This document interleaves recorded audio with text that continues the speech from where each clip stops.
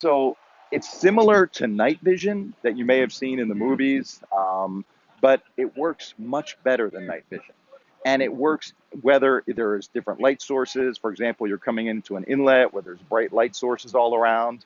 Um, FLIR really takes all of the information for every single object around you in the water that the camera is pointed towards and converts it into a visual image. So we're going to show you a screenshot of that as well.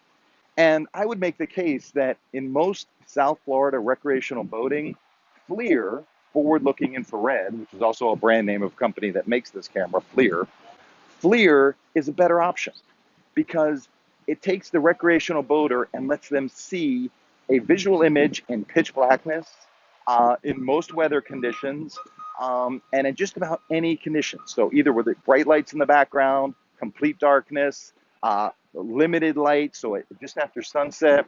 So FLIR, as you can see from the screenshot here, takes all the heat signatures and converts it into a visual image in a very easy, user-friendly way. So radar has a learning curve, understanding what you're seeing, why you're seeing it, what it looks like. FLIR is just like seeing a visual image regardless of conditions, except one. The biggest challenge to FLIR is fog. And we don't typically encounter fog here in South Florida very often, which is why I say that FLIR is often a better, uh, a better tool for the South Florida recreational boater. Now, as you can see, this particular Regal 36XO has both radar and FLIR. So you're set up for everything. Um, but it's important to know which tool to use. If you're going to select one of the two, which one is going to be best suited for your needs as a recreational boater.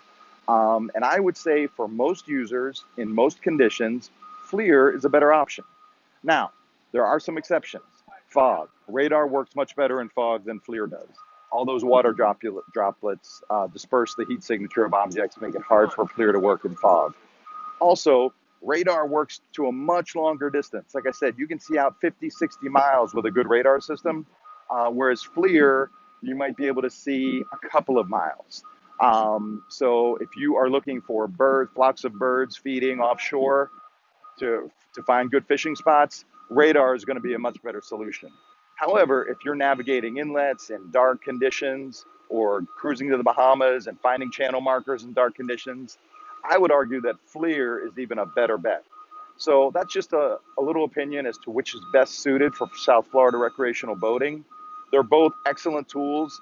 They both do very unique things and work in different conditions. But for most recreational boaters, I would argue that a FLIR system is your best solution. I'm Chris with Sundance Marine Miami. If I can be of assistance with any kind of technolo- technological questions, uh, use questions, or any other boating issues, or helping you buy a gorgeous new boat, please call 561 285 1212. Thank you for watching.